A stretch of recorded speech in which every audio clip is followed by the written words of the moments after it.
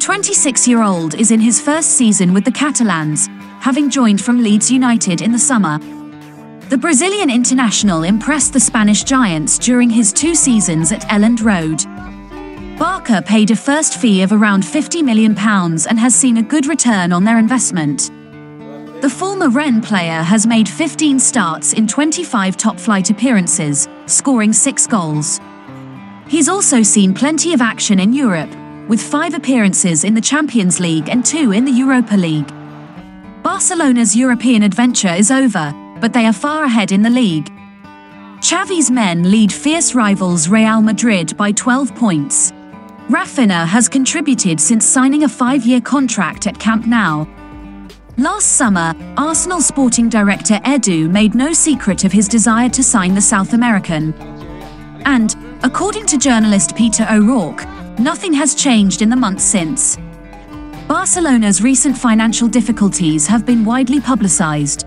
To balance the books, they had to sell superstar forward Lionel Messi to Paris Saint-Germain in the summer of 2021. They couldn't afford the Argentina star's salary and struggled without him. Given the turmoil at the club, a second-place La Liga finish was commendable, but they finished 13 points behind champions Real Madrid. Europe supplied no solace, as Barcelona was eliminated from the Champions League in the group stage. They were then eliminated in the last eight of the Europa League. This season has also been disappointing for European football, with another Champions League group stage exit. Manchester United then defeated them in the round of 32 of the Europa League. However, things are looking up in La Liga. However, financial issues are causing another summer of change at the club. Arsenal, according to O'Rourke, will be closely checking the situation, with all eyes on whether their former target becomes available.